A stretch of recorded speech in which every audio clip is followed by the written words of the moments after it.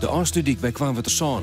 Het enigste plak in Europa dat de Duitse Blitzkrieg in mei 1940 daar stilstaan kwam. Onneembaar voor de Duitsers of makkelijk uit de waai te gaan? In alle gevallen bent er een soort mythen en vragen om de strijd om Kwaanwetersaan heen. Vooral voor de nabestaanden. Onderzieker Jacob Topper beziekt de weerhiet rond dit historische strijdtoneel uit de Noord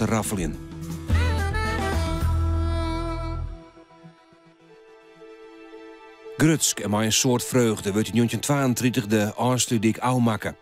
Maar het ministerie van Defensie zocht op dat stuit maar heel oren naar deze revolutionaire verbinding. Noord-Holland en met name Amsterdam binnen vanuit het noorden nou wel heel eenvoudig te bereiken. En dat vormt een groot risico in een mogelijke oorlog. En dus werd er in datzelfde hier nog begonnen met de bouw van een Maas verdedigingswerk aan de Friese kant van de dik, de kazematten van Kwanwetersaan.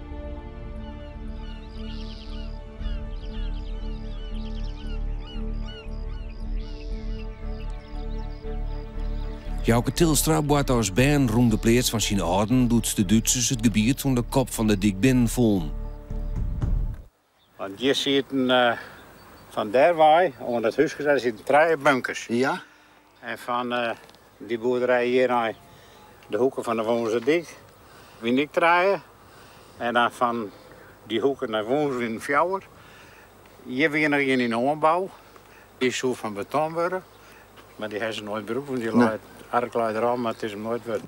En eh, ja, door, door hier, mijn huid hier, door, door zo'n en die wien in het land, een gedeelte, en een gedeelte stond op staan, omdat het land onder wetten stond, hier aardig minder land. En toen Ja. moesten geen gedeelte kei.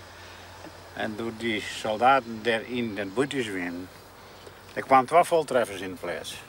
Dat is deze boerderij. Deze boerderij, ja. En eh, die zitten hier ongeveer rond daar, want daar stond een kei. En dan gingen ze het geweer in de, in de rutjes lezen. En zo scherden ze op holle soldaten die vluchten uit die bunkers waren. Op me kwamen staan. Ja. En eh, nou, die kei die win vanzelf stapel. Kijk, die vliegen van alle kanten uit nou.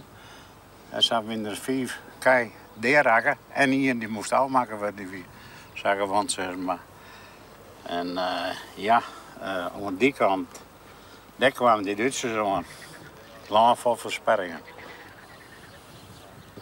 En die hadden om de we moesten eruit. Nou, wij uit de kelder waren en nou, het in de morgen staan. En eh toen wist ik net beter dus deze, dat ging we op school eens een beetje leerd. Ja. Nou, maar dat weet het geval net. Maar toen moesten die Duitsers verder. En die gingen je door het land heen. Ja. Dan kwamen we daar, dat, dat wisten wij net, maar er weer een paard en daar gingen ze langs. Jullie wisten het niet, maar die Duitsers wisten het die wel. wisten helemaal. Nou. Die gewoon ben terug. Dat, dat. Ik ben in de vlucht, maar nog even een stukje, die Duitse Hollandse soldaten. We zijn het niet als je vluchten, maar dan gooi je alles voort. Ja. En die gooit niet alles voort. Dan moesten wij van de Duitsers die geweren ophalen, die tasjes met foto's. En, en geld zit erin, dat helpen de Duitsers dus, die geld. En die waren nog met de bult smitten.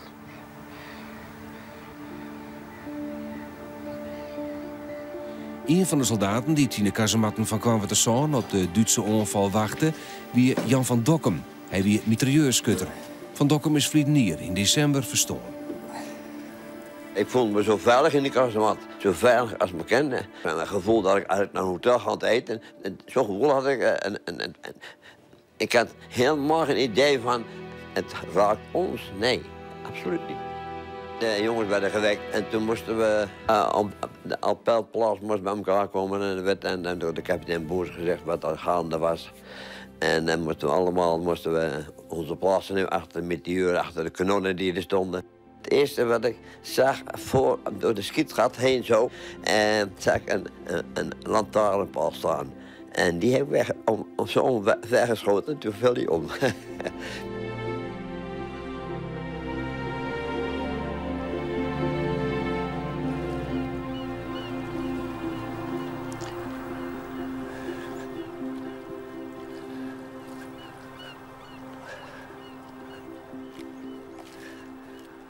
Nou, dit zijn dus de restanten van de dubbele tankversperring die hier vanuit de, de Waddenzee dwars over de afsluitdijk tot in het water van het IJsselmeer liepen. De avond van de 12e mei heeft dus een, uh, een kleine eenheid Duitsers uh, geprobeerd om te kijken wat er nou precies zat. Die zijn met een motor met zijspan tot aan die versperring gekomen. Ze zijn uitgestapt, ze hebben zich tussen die versperring begeven. En ze werden vervolgens met het zoeklicht van de stelling werden ze ontdekt en beschenen. En toen hebben die Duitsers geprobeerd dat zoeklicht kapot te schieten. En vervolgens werden ze zelf vanuit de kazematten onder vuur genomen. En probeerden ze hals over kop weer in die motor met zijspan te komen. En toen is een van die Duitsers is op een mijn gestapt die naast de weg lag ingegraven. En die is daarbij om het leven gekomen en een ander is zwaar gewond geraakt. De volgende dag, de 13e, toen eigenlijk uh, in de avond wat men noemt de grote aanval op Zand plaatsvond. Ja. Toen zijn die Duitse troepen niet verder gekomen dan ongeveer 800 meter voor de versperring. En dat is dus uh, hier vandaan ongeveer ter hoogte van dat verkeersbord.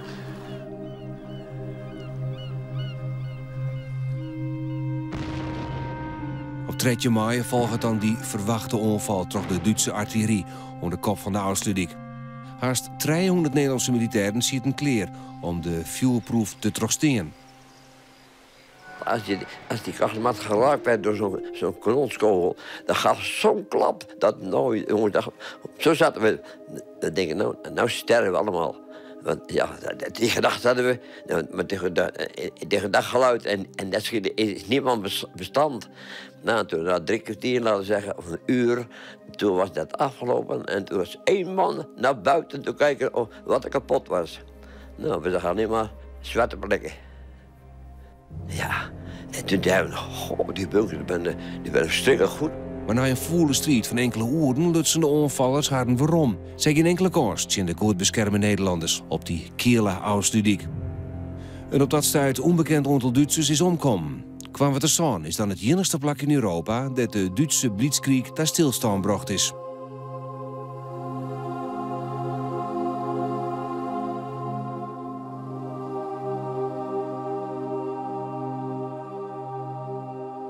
Enkele Nederlanders melden letter dat ze zien hier dat een soort Duitsers omkwamen. Een van hen die de broer van Jouke Tilstra. Waar het om gaat en waar we dus uh, mee aan het zoeken zijn met die Duitsers. Hoeveel zijn er nou werkelijk gesneuveld? En ja, wie heeft wat gezien? En, en ik bedoel, uh, ja. hebben jullie uh, of de familie hier bij de boerderij Hou nog iets gezien... dat de dode Duitsers werden ingeladen of zo wordt, of in zakken gedaan? Ik heb een broer en die zit in Canada. En die was jonger dan ik was en die mochten hier niet komen, maar vrachtwagens vol Duitse soldaten in plastic zakken of rubberzakken. Ja. En die werden eh, opgehangen in de, in de auto. Ja. Ze een koe in de slagerij ja. aan haken. Daar werden ze in gezet. Een paar vrachtauto's die hij hier volladen richting Duitsland, ja. vermoedelijk. Nou. Ja. En die zit niet in rubberzakken, niet in plastic, plastic weer doen. Nee, precies.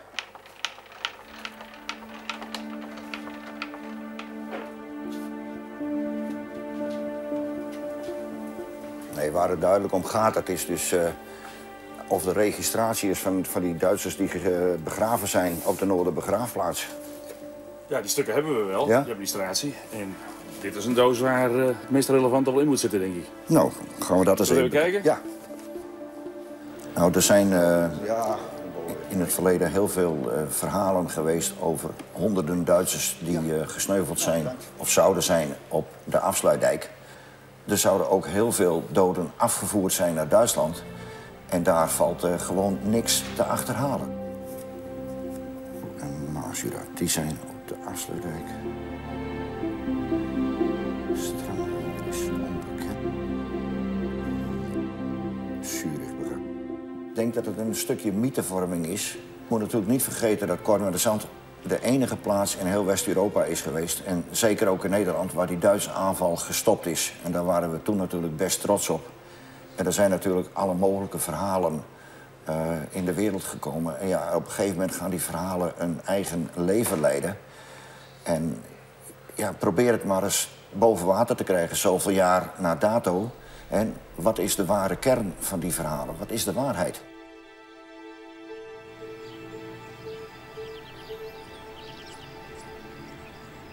Nou, je ziet tussen die, die twee linker windmolens... daar zie je het rode dak van de boerderij Hou aan de kop van de afsluitdijk. En van daaruit zijn dus die Duitsers de afsluitdijk opgegaan. En daar hebben we verschillende verhalen over. De een zegt, ze joegen de schapen voor zich uit om de landmijnen tot ontploffing te brengen. Een ander verklaart weer, ja, ze kwamen netjes op de fiets, die werden het heen te gek gezet. En ze gaan lopend verder. En derde zegt, ze kwamen keurig informatie de dijk op.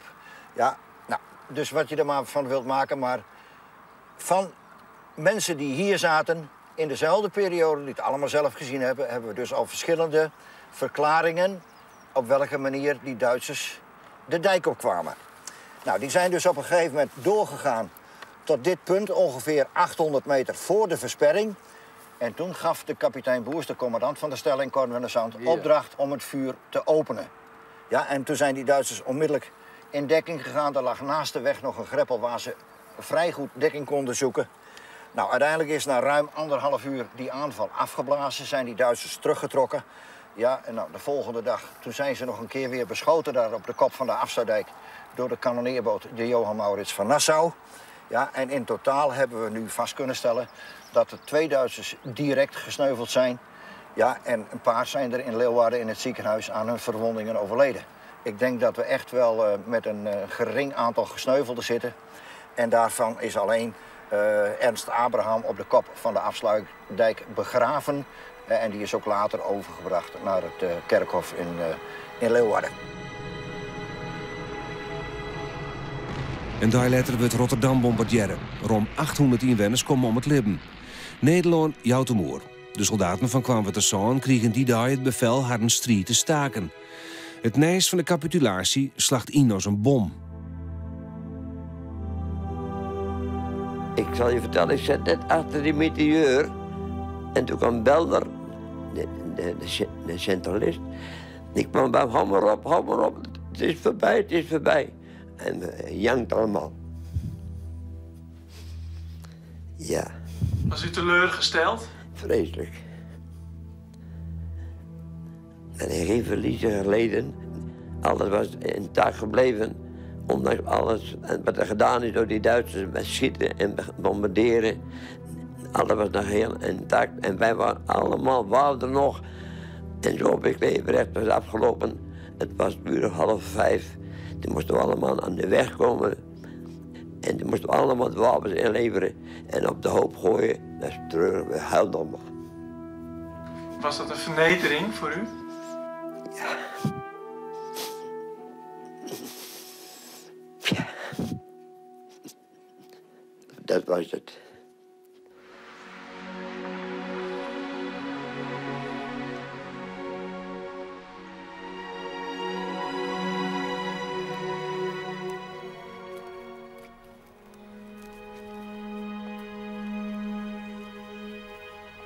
Corporaal zie het in een van de meest noordelijke kazematten.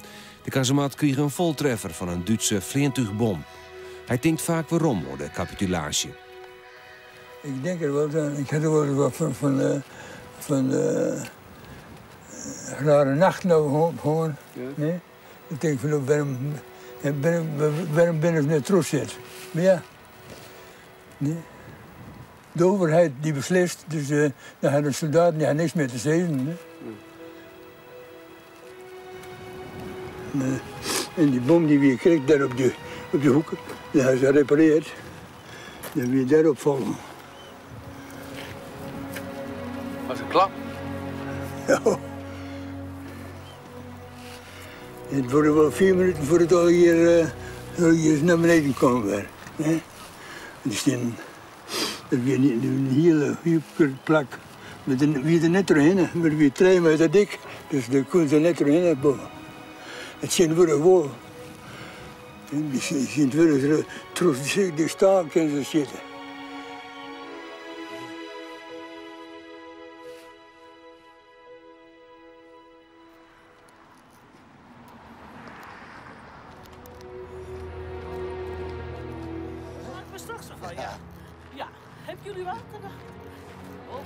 Oud-jongeres Millie Scott had ik een emotionele boom met kwam we er Zo, 1, 2. Haar huid bezinnen de kanon op het marineskip de Johan Maurits van Nassau. Van die boortouw waren de Duitsers ik onder vuur om. Daar moet dus de naam van uw vader ook bij staan. Oh ja, Ja?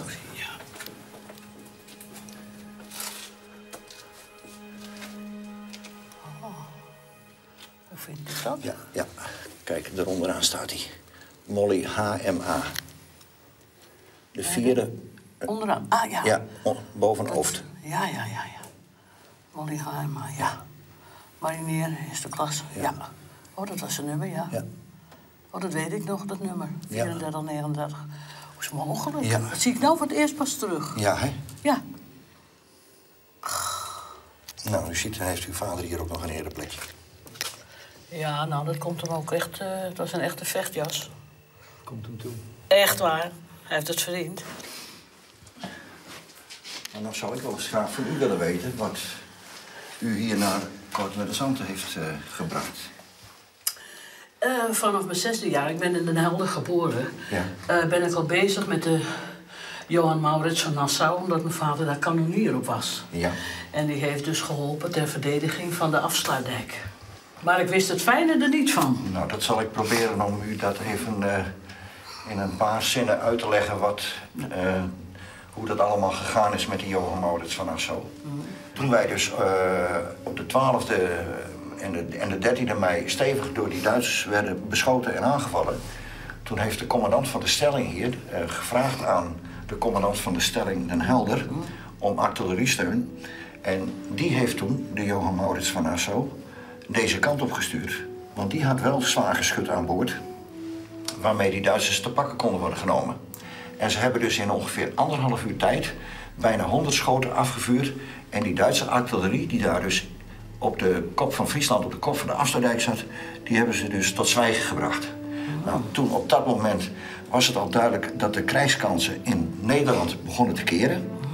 En toen heeft de schout Jolles, de commandant van de stelling Den Helder, besloten om alles wat nog inzetbaar was aan schepen, om dat richting Engeland te krijgen. Dus toen heeft hij ook opdracht gekregen om daar weg te gaan, ja, en via Den Helder, Marsdiep, ja, richting Engeland te varen. En toen is hij aan het eind van de middag, toen hij ter hoogte van Cannons Oog was, toen is hij dus aangevallen door die Duitse bommenwerpers, die Stuka's. Ja, en daar is dus eh, één bom is heel ongelukkig in het munitieruim voor terechtgekomen, waardoor dus het schip eigenlijk als het ware explodeerde, het voorste gedeelte. Ja, en onmiddellijk ja, eigenlijk naar de kelder is gegaan. Ik heb hem, eh, hij is niet overleden door zijn brandwonden. Maar ik heb hem gezien in het ziekenhuis als zesjarig meisje. Ja. En dat staat echt nog gegrift op mijn eh, netvlies. Al die kermende mensen en het, was, het geluid was verschrikkelijk. Maar wat is er daarna met uw vader gebeurd? Oké, ze hadden besloten om naar Amsterdam te vertrekken. We kregen eerst twee bom- bombardementen nog op Den Helder. Ja. En eh, vanaf mijn zesde jaar ben ik dus, eh, heb ik mijn scholing gehad in eh, Amsterdam. En in 43 moest hij van de Duitsers, Seisinkwart, opkomen naar Duitsland. Alle marinemensen. Ja. Dat heeft hij gedaan. Dus ik was nu negen jaar en vijf maanden.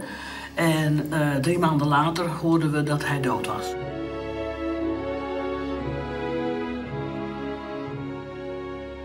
Dus mijn, waar het om ging was weg. Ik was verbonden met de oorlog Ja. vanaf mijn zesde jaar. Ja. En nou was hij weg. Dus ik heb altijd niet een vaderfiguur, maar wel een beschermer gezocht in het leven. Die had ik niet meer. Nee. En omdat hij van de marine was, die kon me beschermen. Dus ik heb het ook geïdealiseerd.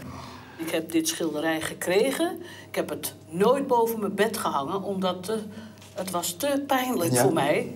Het was mijn trauma. Precies. En toen ik thuis kwam, dat heeft nog wat jaren geduurd. En ineens wist ik, ik ga het aan Jacob geven, want het hoort hier thuis. Mag ik je dit schilderij overhandigen? Geweldig, dankjewel. Hier hoort het Ja. thuis. Ik weet dat je het er heel goed voor zal zijn. Dan zullen we eens Een even kijken voor- wat hierop staat, want dit is natuurlijk een compleet Ja. nieuw iets voor mij. Ja, dat kun je zo scheuren hoor, dat ja. Ja, ja. Nou, even kijken of je het bevalt.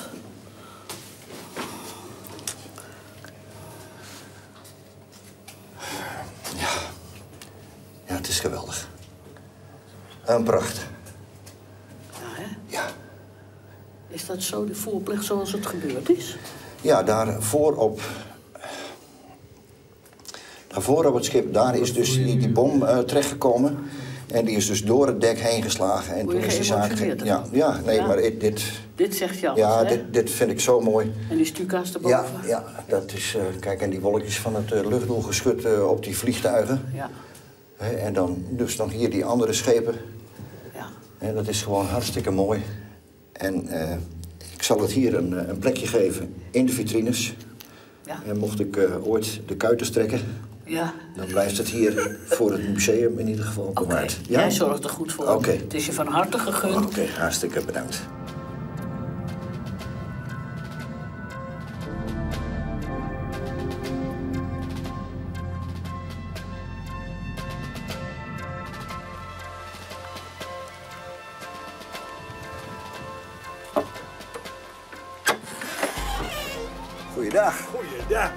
Topper van het Casemar Museum. Ja, krollen maar. Ja, het staat even teken in stad. Ja, weer met die beeld, hè. Ja. Een skwaanzoon van een veteraan van Kwaanwetterszoon het in de naliddenskip van zijn skwaanheid een militair uniform voen. Hij houdt het van het Casemattenmuseum. Bliksems, dat is mooi, hè? Dat is hem. Ja, dat is nog het uniform van een sergeant Fourier. Nou, nee. Ja, maar kijk maar. Hier zit nog een extra chiffron bovenop de mouw. En dat is de chiffron van een sergeant Fourier. Oh ja? Ja. Voor mij is het nooit Fourier Maar hij was sergeant, ja. wordt administrateur. Ja, ja, maar ja, misschien had hij eerder wel Fourier geweest. Want kijk, er zit op deze maas in aanstrepen. Ja, dat zeg je. Ja? Nou, en door zitten twee. En door zitten twee op. Ja. Dus dit is een jasje van de sergeant. En deze die geeft aan dat het Fourier is. Oh, ja. Dus misschien is dat wel... Ja. Ja, een pokroop is erbij zuigen. Ja, even stoom. Ja. Ah, prachtig man. Wassen en waterhoop en dan kunnen Ja. zo weer. De jongens zaten in spanning natuurlijk, hè? Ja. Want ze, ze, ze kwam van de Vrije kant af met Ja. die troep. En zij zaten ook aan de Vrije kant, kwamen we aan. Ja. En toen, die, die commandant zei, je moet die, ze moet de deur trekken, laat ze maar lopen, laat ze maar lopen. Ja. En zo, zo gaan ze nou handel op die dik dan ben ze begonnen te vuren. Heb Ja. ik begrepen tenminste. Ja, ja, dat klopt wel zo'n beetje. Ik vind het trouwens militair tactisch, daar wil ik het toch nog met je over hebben. Vind ik het van die Duitsers zo slecht als ook. Ik heb zelf in. Als ik vooraan loop nou, met mijn club, dan had ik kon we de zand, had ik toch een paar sturen te kijken wat er zit. Nou, maar dat is dus uiteindelijk ook gebeurd. Want het, het hele verhaal wat er tot nu toe leeft... En gelijk. over, eh, over die massale aanval Ja. erop... en dat is allemaal nooit zo dik geweest als dat beschreven is. Oh, wacht. eh, wat we dus ook weten, we hebben dus eh, nog brood met een paar Duitsers die aan die aanval eh meedoen hebben. Ja, En die zeggen dus ook, ja, we zijn dus eigenlijk maar met een, peloton, een, een, Ja. een man of 50, 60, Ja. ben we die dik op geweest. Ja, Ja. er is natuurlijk wel wat achteraan komen. ja, Maar dat was eigenlijk, ja, wat, wat militairen dan zeggen, een, een gewapende verkenning. ja. En ook niet meer dan dat. Ja, want ik bedoel, die hele Duitse divisie, dat waren, eh, was een cavalieriedivisie. En dat waren eigenlijk allemaal soldaten op fietsen en op peer. Ja. Ja. dus die moesten lopen op die forten of, nou, Ja. daar hadden ze tanksteken in zetten moeten. Dus, eh, Uiteraard. maar ja, het tweede plan van die Duitsers was ook. Eh hadden was een beetje in de goot dat ze door toch niet deur kwam. Ja. Om met boten het IJsselmeer over te gaan. Dat plan hebben we ook helemaal Ja, gevonden. precies. Ja, maar ja, dat is, door de capitulatie is dat er niet van Is komen. het er nooit meer voorkomt. Daar Nee. hoeft dat niet meer. Nee. Mijn, mijn schoonpa vertelde altijd, ze Rotterdam bombarderen en met de afloop. Ja, toen was de afloop. Toen was het afloop. Ja, maar dan kwam er dus aan, want ze nooit deur kwam. Nee. Oké, Oké. Wij reizen terug. Tot kijken, hè? Jo. Jo, hoi. Jo.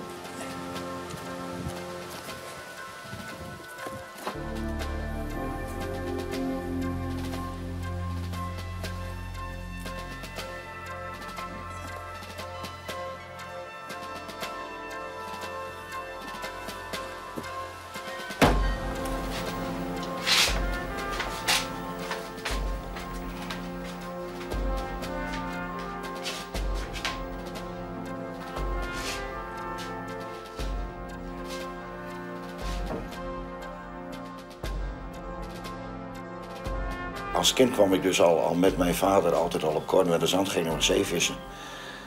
En dan ben je dus een jochie van de jaren of 7, 8. En toen vond ik dat altijd al eh, geweldig, die grote betonnen kolossen die daar stonden. En dat maakte toen al heel veel indruk op mij. En ja, op een gegeven moment, ik ben beroepsmilitair geweest, eh, het groeit. En je raakt erin verzeild. En op een gegeven moment, eh, ja, het is net een besmettelijke ziekte. Het wordt steeds erger en je duikt er steeds verder in.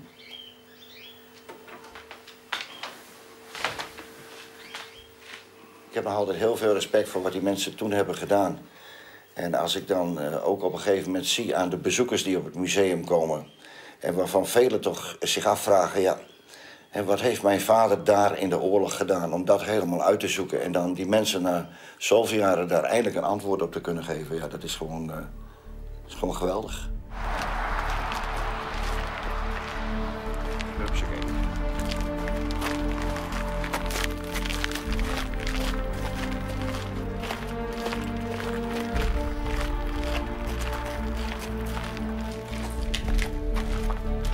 Voorzichtig aan. Echt wel.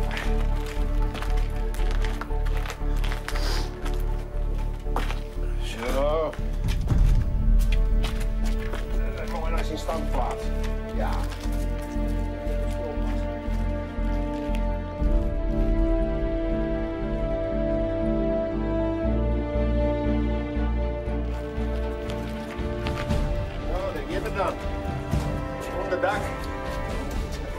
Nu hebben we eigenlijk voor het eerst een, samenhangend verhaal van wat hier gebeurd is in die begindagen van mei. Ja, ja en dat, dat verhaal uh, is juist ook interessanter geworden.